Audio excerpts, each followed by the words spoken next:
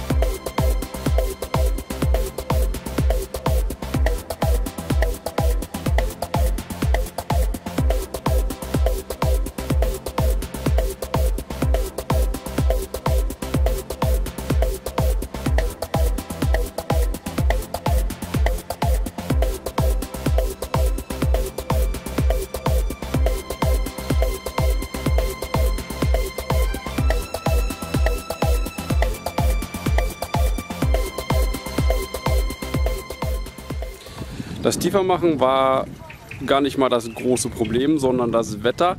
Ich hatte ausgerechnet die zweite Osterwoche Urlaub genommen, um mich halt hier dem Teich anzunehmen. Wie ihr alle mitbekommen habt, dass die zweite Woche von den Osterferien waren sehr kalt, teilweise mit Schnee und ähm, dann hier mit Wasser arbeiten und Teich ausheben. Das hat nachher wirklich keinen Spaß mehr gemacht, vor allem weil wir auch sehr viele Wurzeln ähm, aus Steinen rausholen mussten. Wir haben tatsächlich zwei Tage nur Steine gepult und Wurzeln rausgeholt. Gestern haben wir dann ähm, in Vorbereitung, damit wir endlich die ersten Gleise legen können, habe ich gestern dann noch ähm, den Bereich am Teichrand äh, betoniert, damit die Brücke dann endgültig stehen kann. Sonst hätte ich die nämlich nochmal hochnehmen müssen und ähm, ja, das wäre doof gewesen. Damit hätte ich die Gleise wieder abbauen müssen, wollte ich nicht. Deswegen habe ich jetzt zumindest den Bereich unter der hinten an der Strecke lang geht, fertig betoniert. Jetzt ist der Teich dann an den Stellen tatsächlich komplett fertig. Ein paar Baustellen hat der Teich natürlich noch. Hier der Auslauf vom Filter, der muss natürlich noch fertig gebaut werden. Da warte ich noch auf ein paar Steine von dieser Form. Da kann ich mir da was schön zusammenstellen, damit die, äh, das Wasser dann aus dem Filter aus einer Art Quelle dann rauskommt und dann hier in den Bachlauf Richtung Teich läuft. Ansonsten waren wir natürlich auch nicht faul. Ähm, wir haben die ganzen Beete jetzt schon mal eingefasst und darauf geachtet, hier, wie wir äh, im letzten Video gesehen haben, soll ja nachher die Strecke lang gehen. Deswegen haben wir ja auch schön Platz gelassen. Somit ist diese Strecke eigentlich schon fast oder ist die Strecke an der Stelle so weit vorbereitet, dass bloß noch ähm, ja, ein bisschen Erde raus, die Schottersteine rein mit Unkrautvlies und äh, dann können auch schon die Gleise rauf. Also an dieser Stelle ist der Bereich schon komplett vorbereitet. Hier muss dann natürlich noch ähm, der Bahnübergang gebaut werden. Aber das kommt ja, wie gesagt, alles noch später.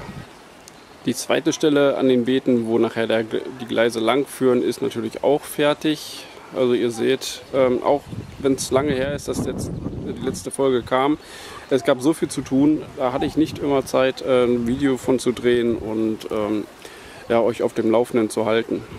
Aber hier, wie gesagt, ist auch die Bahnstrecke vorbereitet.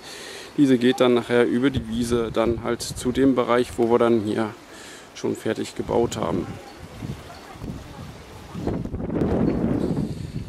So, und damit ich heute auch mal endlich mal wieder, wirklich endlich mal wieder fahren konnte, habe ich mal ganz provisorisch hier die, äh, die Technik an den Gleisen angeschlossen. Ich habe zwar keinen Kreis momentan, sondern fahre jetzt quasi nur hin und her.